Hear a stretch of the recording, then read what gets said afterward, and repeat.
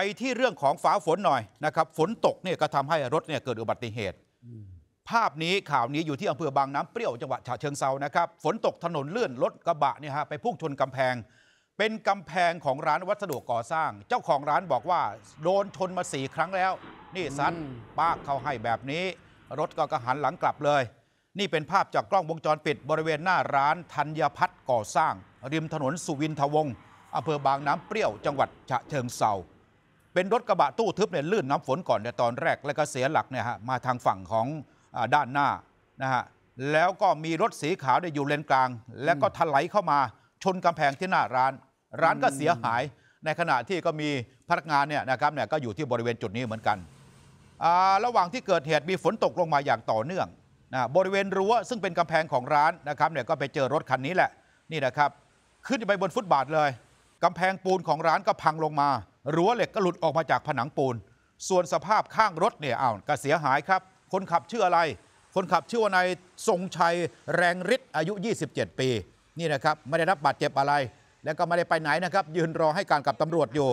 คนขับนี่บอกว่ากำลังนำของไปส่งนะอยู่ที่หนึ่งนะต่างจังหวัดเนี่ยแต่ว่าเส้นทางเนี่ยก็ฝนตกอย่างต่อเนื่องตลอดเส้นทางเลย หลังจากผ่านสามแยกตลาดไฟแดงสุวินทวงศ์ก็ขับรถออกมาจากเลนสายสุดจู่ๆเกิดเสียหลักมันลื่นถลาย บังคับไม่อยู่พอเหยียบเบรกปั๊บเนี่ยเหยียบเบรกปั๊บเนี่ยยิ่งหนักเลยรถนี่หมุนหมุนปั๊บเนี่ยก็มีไปไปปาดรถกระบะที่อยู่เลนกลาง และก็ถลายปีนขึ้นฟุตบาทไปชนเข้ากำแพงนะครับ ทีนี้เจ้าของร้านกำแพงเนี่ยคุณเกริกชัยรุ่งวิทยาที่วัดบอกว่าเนี่ยร้านของผมเนี่ยถูกชนถูกรถชนเนี่ยกำแพงเนี่ยครั้งนี้เป็นครั้งที่ 4 แล้วเเป็นครั้งทีสี่ 4 แล้วนะครับไม่ทราบเป็นเพราะอะไรเหมือนกัน เดี๋ยวฟังเสียงเจ้าของร้านหน่อยฮะ ปีหนึ่งประมาณ 5-6 คันครับเนี่ยตั้งแต่ต้นปีมาเนี่ยกี่คันแล้ว4คันแล้วครับ สี่คันแล้ว เป็นตอนฝนตกตลอดเลยครับ อืมแล้วเราจะฝากถึงใครบ้างไหม คนที่มีส่วนรับผิดชอบนี่ครับ มันชนรั้วผมตลอดเลยครับ ไม่มีใครมาดูเลยครับเจ้าของร้านนะฮะนี่ให้สัมภาษณ์ยังกลางร่มอยู่เลยนะฮะ อืม ทีนี้รถคันที่มาชนล่าสุดเนี่ยประกันเนี่ยขาดพอดีเออก็ต้องเจรจากับเจ้าของรถ ครับ คุณผู้ชมครับเมื่อวานมีเหตุจากที่อำเภอกบินบุรีประจินบุรีมาอีกเรื่องหนึ่งนะครับ คือเป็นเรื่องของรถโม้ปูนวิ่งเร็วฮะคือวิ่งรอบเพื่อที่จะต้องการจะทำเวลานะครับ สุดท้ายเองเนี่ยกลายเป็นว่าไปชนบ้านหลังนี้พังไปครึ่งหลังคุณผู้ชมที่รัก นี่เป็นสภาพรถโม้ปูนครับ ที่เสยเข้าไปที่บ้านพี่น้องประชาชนลักษณะทำเป็นเพิงพัก อยู่ริมถนนเล็ก ๆ ในซอยนะครับ มันมีอุบัติเหตุเกิดขึ้นเรื่องของรถโม้ปูนเสียหลัก แล้วก็ไปชนเข้ากับบ้านเรือนพี่น้องประชาชน อยู่ที่อำเภอกบินบุรี จังหวัดปราจีนบุรีครับ ในที่เกิดเหตุข้างหน้าบ้านเนี่ยไปเจอรถโม้ปูนบรรทุกปูนมาเต็มถังครับ ขับเสียหลักแล้วก็ฉลับไปชนบ้านหลังนี้นะครับ ที่เปิดลักษณะเป็นร้านของชำเล็กๆ อยู่ในชุมชน มีชาวบ้านมาซื้อเล็ก ๆ น้อยๆของเล็ก ๆ น้อยๆครับคุณผู้ชมครับ ฉลับไปชนบ้านหลังนี้ ได้รับความเสียหายไปทั้งแถบ ทั้งเข้าของเครื่องใช้ในบ้านก็กระจัดกระจาย แล้วก็ได้รับความเสียหายไปทั้งหมดนะครับ มีคุณธีรยุทธ์รอบคอบ คนขับรถก็ยืนรอเจ้าหน้าที่อยู่ในที่เกิดเหตุพอไปถามคุณสมปองเคนเหลาเนี่ยที่เป็นเจ้าของบ้าน ได้รับความเสียหายบอกครับว่าแถวเนี้ยรถปูนเยอะครับ แล้วเวลาวิ่งในซอยเล็ก ๆ เป็นเลนสวนก็จะใช้ความเร็วมาก ไม่สนใจหรอกว่า บริเวณตรงนี้จะเป็นหมู่บ้านจะเป็นชุมชน จะเป็นที่อาศัยของชาวบ้านอยู่กันเยอะเกิดอุบัติเหตุรอบนี้ ถนนสวนทางกันลักษณะแบบนี้เนี่ยเข้าใจว่าน่าจะวิ่งเร็ว แล้วหลบให้กับรถอีกคันที่สวนมาครับคุณผู้ชม ความที่ฝนตกด้วย ถนนลื่นด้วยนะครับ ก็เลยเสยเข้าไปที่บ้านของชาวบ้านหลังนี้เสียหายครับ เมื่อวานนี้มีอุบัติเหตุทางรถยนต์ประธานโทษฮะประธานโทษประธานโทษ เมื่อวานนี้นะครับมีอุบัติเหตุทางรถยนต์นะครับสร้างความสูญเสีย และก็สร้างความสลดใจเสียใจกับผู้ที่พบเห็นเป็นอย่างมากเนื่องจากว่าคุณตาเนี่ยนะครับขับขี่มอเตอร์ไซค์ไปส่งหลานที่โรงเรียนครับยังไม่ถึงโรงเรียนเลยนะฮะนี่นะฮะปรากฏว่าไปชนกับรถปาเจโร่คุณตากับหลานเนี่ยเสียชีวิตยังจุดเกิดเหตุเลย แม่นะฮะของลูกและก็เป็นลูกของพ่อเดินทางไปยังจุดเกิดเหตุ ไปเห็นสภาพทั้งลูกทั้งพ่อตัวเองเนี่ย ร้องไห้เป็นลมเลยนะฮะครับมีภาพนี้ให้ดูครับ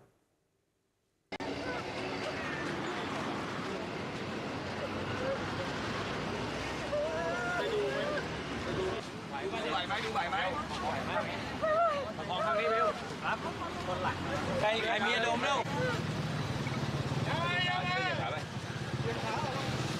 นี่นะครับเป็นภาพที่แม่ของเด็กนะฮะวิ่งไปดูร่างของลูก แล้วก็ไปดูวิ่งไปดูเนี่ยพ่อของตัวเอง เมื่อเห็นทั้งสองเนี่ยเสียชีวิตเนี่ยนะครับผู้เป็นแม่แล้วก็ผู้เป็นลูกเนี่ยเป็นลมเลยนะครับเนี่ยเขานี่สุดลงกับพื้นเลย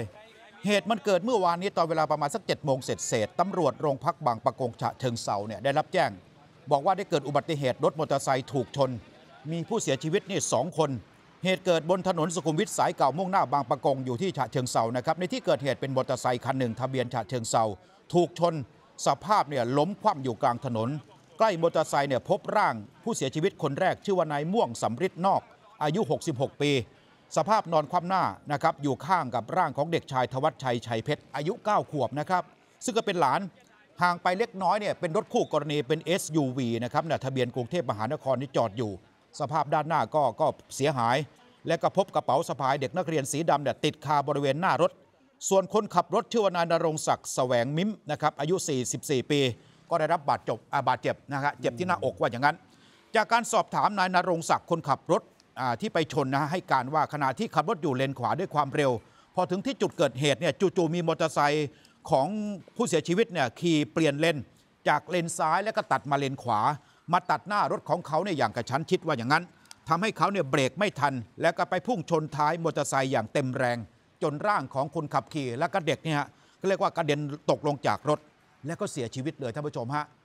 แม่ของลูกและก็ลูกนะของพ่อนะครับหลังจากที่ทราบเหตุก็เดินทางมายังจุดเกิดเหตุ มาเห็นลูกมาเห็นพ่อของตัวเองเสียชีวิตเนี่ยทำใจไม่ได้ อย่างที่บอกว่าร้องไห้นะครับจนกระทั่งเป็นลมเลยนะเนี่ยเป็นลมเลย เนี่ยบรรดาญาติญาติก็กอดคอกันร้องไห้ด้วยความเสียใจนะครับไม่ทราบว่าจะทำยังไง แต่ว่าก็เป็นหน้าที่ของตำรวจต่อไปนะครับจะเชิญตัวคนขับรถเนี่ยนะฮะที่ชนเนี่ยนะครับไปสอบถามเพื่อเอาผิดในทางกฎหมายกันต่อไปครับคุณผู้ชมครับที่อำเภอเฉลิมพระเกียรติของจังหวัดบุรีรัมย์มีเรื่องนี้มาเล่าให้ผู้ชมฟังเช้านี้ครับ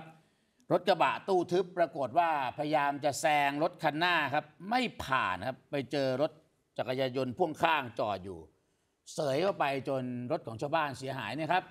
ให้ผู้ชมดูภาพนี้เลยครับ เกิดขึ้นที่พื้นที่สพเฉลิมพระเกียรติของจังหวัดบุรีรัมย์นะครับ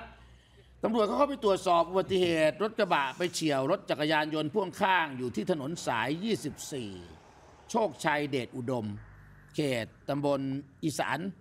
อีสานเขตครับตำบลอีสานเขตอำเภอเฉลิมพระเกียรติของจังหวัดบุรีรัมย์ครับ ที่เกิดเหตุเนี่ยไปเจอรถกระบะตู้ทึบอิซูซุสีขาวนะครับ จอดอยู่ที่ไหล่ถนนฝั่งขวา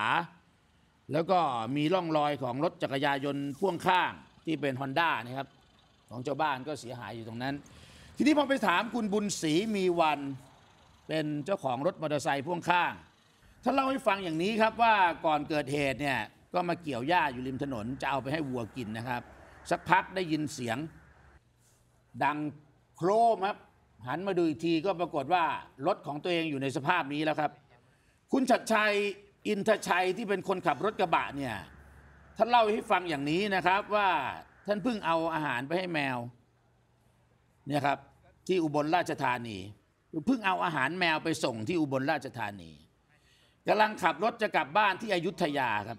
พอมาถึงตรงนี้ปรากฏว่าเห็นรถเก๋งแซงรถพ่วงครับ รถเก๋งเนี่ยแซงพ่วงพ้นตัวของคุณชัดชัยอยากจะแซงบ้างนะครับ เป็นคันที่สอง พอตีออกไปปรากฏว่าไม่พ้นครับ ก็เลยต้องเบียดเข้ามาที่รถจักรยานยนต์พ่วงข้างคันนี้ แล้วก็เกิดอุบัติเหตุ เดี๋ยวฟังเสียงคุณชัดชัย อินทชัย คนขับรถกระบะที่มาชนรถมอเตอร์ไซค์พ่วงข้างนะครับก็ขับซ้ายมาอะพี่ค่อยๆมาเรื่อยๆพอเหมือนจะแซงรถอะพี่อืมพอแซงก็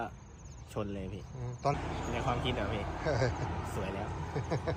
สวยแล้วเหรอสวยอีกแล้วเออตอนนั้นตกใจไหมครับไมาพี่มันก็บ่อยอะพี่ชนบ่อยเหมือนกันก็ขับอ้าวนี่ก็เป็นอุบัติเหตุเกิดขึ้นนะ บางทีกะว่าจะตีออกแล้วก็จะขับแซงนะสุดท้ายเองด้วยความเร็วที่ขับมามันไม่พ้นครับคุณผู้ชมอะ ไปจังหวัดพะเยากันหน่อยนะครับท่านผู้ชมฮะนะฮะไปดูเรื่องอาสลับบรรยากาศของเครียดๆหน่อย ไปดูมะเขือฮะชาวบ้านเรียกว่ามะเขือแจ้ หรือมะเขือเสวยอืมมะเขือที่ว่าเนี้ออกลูกมาเป็นหน้าคนครับคล้ายๆหน้าคนนะ เอาดูนะ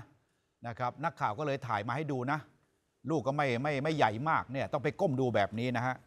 ที่ศูนย์วิจัยและก็พัฒนาประมงน้ำจืดพะเยาอยู่ที่สวนดอกพระตำหนักกวานพะเยา มีต้นมะเขือแจ้ หรือมะเขือเสวยดูนะครับ โอ้โหนะนักข่าวก็ช่างไปเห็นเหลือเกินนี่ได้ออกมานะฮะได้ออกลูกมา ออกมามีสามลูกฮะแต่ว่าสิ่งที่มันดูแปลกตาหนึ่งในสามลูกเนี่ยลักษณะเหมือนหน้าคนว่าอย่างนั้นเถอะนี่มีลูกกระตา มีปากนะฮะอ่าไอ้เมียเดี๋ยวเดี๋ยวนะจะเล่าให้ฟังว่าเออใครก็ไม่รู้แหละนะเนี่ยบอกว่าคล้ายๆเนี่ยมีตา มีปากยิ้ม เหมือนมีคนมาเขียนไว้ เหมือนมีคนมาเขียนไว้ คือปกติบริเวณดังกล่าว ก็จะไม่มีผู้คนเนี่ยเข้ามาหรอกว่าอย่างนั้น เขาก็เลยสร้างความแปลกใจและก็แปลกตา และก็ฮือฮาให้คนที่มาพบมาเห็นเพราะปกติเนี่ยมะเขือเนี่ยมันก็จะมีผิวเรียบเนียนเออมันไม่ควรจะมีลักษณะแบบนี้ สอบถามคุณลุงตาเนี่ยคนที่พบมะเขือเนี่ยแจ้ต้นที่ว่านี้แล้วก็พบลูกที่มีหน้าหน้าคล้ายคนเนี่ยซึ่งก็บอกว่าได้มาเดินเล่นในสวนดอกพระตำหนักเนี่ยสังเกตเห็นต้นมะเขือออกลูกมา 3 ลูก มันเน่าหนึ่งลูก แล้วก็มี 2 ลูกมันห้อยคู่กันอยู่ ลูกหนึ่งลักษณะมีตามีปากเหมือนคนยิ้มเออเป็นที่แปลกตาเอาดูใกล้ๆสิดูใกล้ๆสิเอ่ออย่ามาหลอกกันเสียให้ยากเรื่องนี้ชาวบ้านบอกว่า อย่ามาหลอกกันเสียให้ยาก ลูกซ้ายเป็นไปได้ ลูกขวา impossible จะต้องมีคนไปเขียนไว้แน่ๆเอาปากกาไปแต้มไปแต่งไปเขียนไว้เหมือนหน้าคนแน่ๆว่าอย่างนั้นในผู้เชี่ยวชาญระบุแบบนี้อืมเออเอากลับมาเล่าสู่กันฟังครับ มีวิถีชาวบ้านอีกหนึ่งเรื่องนะครับคุณผู้ชมที่อำเภอเมืองจังหวัดชัยภูมิครับ เรื่องของชาวบ้านเป็นร้อยคนเขาจัดพิธีบวงสรวงดวงวิญญาณของเจ้าพ่ออวยรวย เรียกว่าเจ้าพ่ออวยรวยนะครับ นี่ก็จะไปลุ้นส่องหาทูบมงคลที่น่าจะมีเลขโผล่ขึ้นมา เป็นความหวังได้สักงวดสองงวดแหละครับคุณผู้ชม บริเวณริมถนนที่สี่แยกศาลเจ้าพ่ออวยรวย ชุมชนคลองเรียง ตำบลในเมืองที่อำเภอเมืองจังหวัดชัยภูมิครับ ชาวบ้านเองพากันเอาเครื่องเส้นไหว้เข้าไปร่วมทำพิธีบวงสรวงเจ้าพ่ออวยรวย เพื่อที่จะไปขอโชคลาภมีชาวบ้านก็มาลุ้นโชคกันคึกคักนะครับ มีท่านนายกเทศมนตรีเมืองชัยภูมิมาเป็นประธานจุดธูปเทียน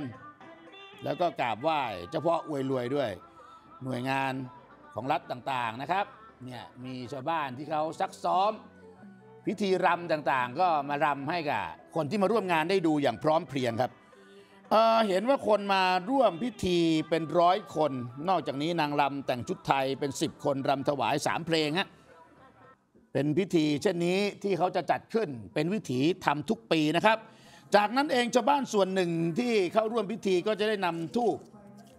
ไปกราบไหว้ขอพรขอโชคลาภทูบมงคลรอบนี้ก็เป็นทูบมงคลที่ ส่องเลขและเห็นเลข 3 ตัวครับคุณผู้ชม ให้คุณผู้ชมดูเองนะครับ ตรงนี้ผมขออนุญาตไม่บอกเป็นตัวเลขก็แล้วกัน นี่ชาวบ้านเขาเอาโทรศัพท์มาแล้วก็ถ่ายภาพเก็บเอาไว้เผื่อที่จะไปลุ้นโชคเสี่ยงทายกันในลอตเตอรี่ที่จะไปซื้อกันในงวดสองงวดนี้แหละครับ